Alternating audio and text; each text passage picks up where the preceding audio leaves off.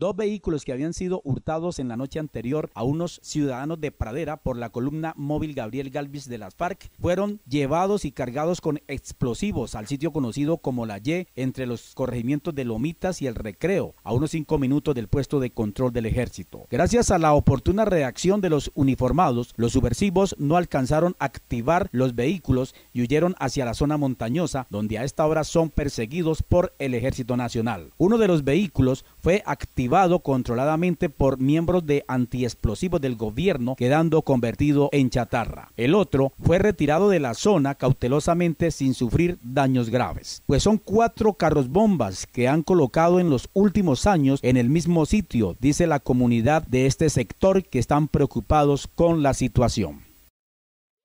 Estamos en el corregimiento de Lomitas, entre Lomitas y el Recreo. Estamos viviendo una soberbia entre pues la comunidad estamos muy asombrados de lo que está pasando.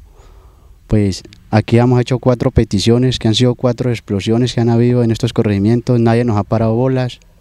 ¿Qué hacemos nosotros? Fuimos a la programanía del, del Estado, nadie nos ha parado bolas, ni el alcalde, ni las fuerzas militares, necesitamos más apoyo de las fuerzas, porque estamos desamparados, vivimos una soberbia entre noche y día de los grupos armados. Estamos cansados ya de eso, por favor, mire, el ejército está casi a un kilómetro de los carros bombas y nadie hace nada. Lo primero que quieren es casi entregarlo a uno, como decirle que uno es, es colaborador de esa gente, nosotros estamos fuera, que nos saquen del conflicto. Somos gente de bien, de paz, trabajadores. Necesitamos más apoyo, por favor, del gobierno. Le pedimos de toda la comunidad el corregimiento de Lomitas y el corregimiento del Recreo. Y los niños, pues los niños también están afectados.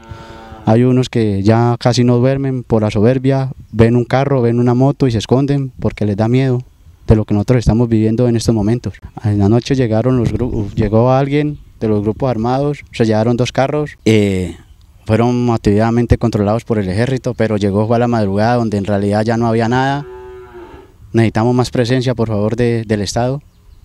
En estos momentos estamos desamparados, nadie nos para bolas.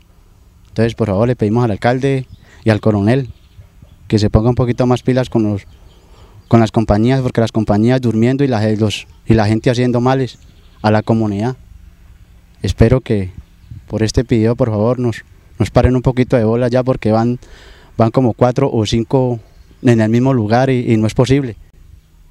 Entonces esperamos que por favor nos atiendan y nos den la mano.